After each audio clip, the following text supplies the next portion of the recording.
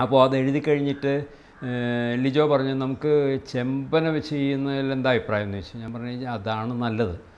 ചെമ്പനെ പോലെ ഒരാളാണ് നമുക്ക് നായകനായിട്ട് വരേണ്ടത്. അദ്ദേഹത്തിന് ഒരു നായകന് വേണ്ട വിപണി മൂല്യം ഉണ്ടോ എന്നുള്ള ഒരു ടെൻഷനൊന്നും ഇല്ലെങ്കിൽ നമുക്ക് അങ്ങനെ തന്നെ ആലോചിച്ചാൽ മതി.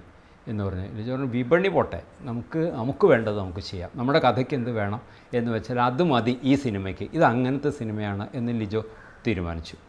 അങ്ങനെയാണ് അയ്യപ്പൻ എന്ന് പറഞ്ഞ കഥാപാത്രമായിട്ട് നമുക്ക് വിനായകനെ കൊണ്ടുവരാം എന്ന് പറഞ്ഞപ്പോൾ അത് വളരെ അത് ലിജോയാണ് ആ അഭിപ്രായം പറഞ്ഞത് അതെനിക്ക് വളരെ നല്ലൊരു അഭിപ്രായമായിട്ട് എനിക്ക് തോന്നിയത്. അത് വിനായകനെ പോലെ ഒരു നടൻ വന്നു കഴിഞ്ഞാൽ അതിന് വേറൊരു ഡയമെൻഷൻ ഉണ്ടാവുമെന്ന് എനിക്ക് തോന്നിയത്. ഈ രണ്ട് നടന്മാരുടെ ഒരു പെർഫോമൻസ് അത് കണ്ടാൽ തന്നെ നമുക്ക് സിനിമ കാണുമ്പോൾ തന്നെ നമുക്ക് മനസ്സിലാവും. ഒപ്പം തന്നെ ഈ അതിൽ തങ്കരാജേട്ടനെ പോലുള്ള ഒരാളില്ലായിരുന്നെങ്കിൽ ആ സിനിമ നമുക്ക് പൂർത്തിയാക്കാൻ പറ്റില്ലായിരുന്നു. ആ ഏജ് ഗ്രൂപ്പിലുള്ള ഒരു മനുഷ്യൻ അദ്ദേഹം എത്രയോ മണിക്കൂറാണ് ആ സിനിമയുടെ ശവപ്പെട്ടിയിൽ കിടക്കുന്നത്. മണിക്കൂറുകളോളം അദ്ദേഹം കിടന്നു. അത് മഴയും തണുപ്പും എല്ലാം കണ്ട് നടുവൊക്കെ മരവിച്ചു പോകും അങ്ങനെയുള്ളൊരവസ്ഥയിൽ തുടർച്ചയായിട്ട് ശവപ്പെട്ടിയിൽ കിടക്കുകയാണ് അദ്ദേഹം. ഇതിനെല്ലാത്തിനും പുറമേ ആ സിനിമയിൽ ഒരു രംഗത്തിൽ ഈ ശവപ്പെട്ടിയുടെ മൂടി പൊളിഞ്ഞിട്ട് ഈ മനുഷ്യൻ താഴേക്ക് വീഴുന്ന ഒരു രംഗമുണ്ട്. അത് ഞാൻ ലിജോയോട് ലിജോ റിസ്ക് എടുക്കണ്ട. തങ്കരാജേട്ടൻ ഇത്രയും പ്രായമുള്ള ഒരാളാണ്. നമുക്ക് റിസ്ക് എടുക്കണ്ട. അത് കട്ട് ചെയ്ത് ഷൂട്ട് ചെയ്യുന്നതായിരിക്കും നല്ലത്. സാധാരണ സിനിമയിലൊക്കെ ചെയ്യുന്ന പോലെ തന്നെ ചെയ്താൽ മതി.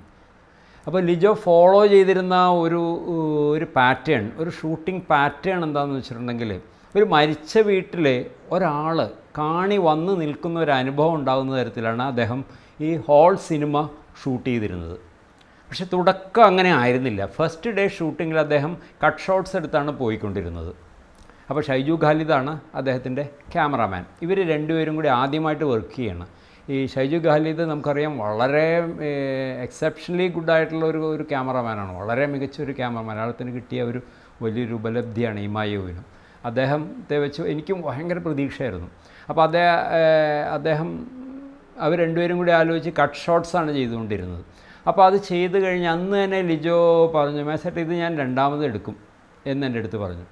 അപ്പോൾ ഞാൻ ചെന്ത ലിജോ അങ്ങനെ പറഞ്ഞത്? നന്നായിട്ടുണ്ടല്ലോ എടുത്തതൊക്കെ വളരെ നന്നായിട്ടുണ്ടല്ലോ എന്ന് പറഞ്ഞു. അപ്പോൾ ലിജോ പറഞ്ഞത് അത് അതല്ല നമുക്ക് ഈ ഒരു ഹോൾ സിനിമ കാണി വന്ന് ഇവിടെ ആ മരിച്ച വീട്ടിലുണ്ടായിരിക്കണം കാണി.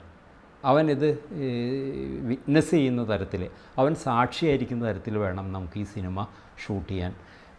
അപ്പോൾ ഞാൻ അത്തരത്തിലുള്ള ഒരു പാറ്റേണിലേക്ക് പോവുകയാണ്. നാളെ നമുക്ക് നോക്കാം എന്ന് പറഞ്ഞിട്ട് അന്ന് പുള്ളി പിരിയുകയും ചെയ്തു. പിറ്റേ ദിവസം മുതൽ പുള്ളിയും ഷൈജും കൂടി ചർച്ച ചെയ്തതിന് ശേഷം ഈ ക്യാമറ മെല്ലെ ഒരു മിസൻ സീൻ പോലെ ഓരോ രംഗത്തിലും മിക്കവാറും ഒറ്റ ഷോട്ടിലും ഒക്കെയാണ് സഞ്ചരിച്ചുകൊണ്ട് പകർത്താൻ തുടങ്ങിയത്. നല്ല കഷ്ടപ്പാടായിരുന്നു.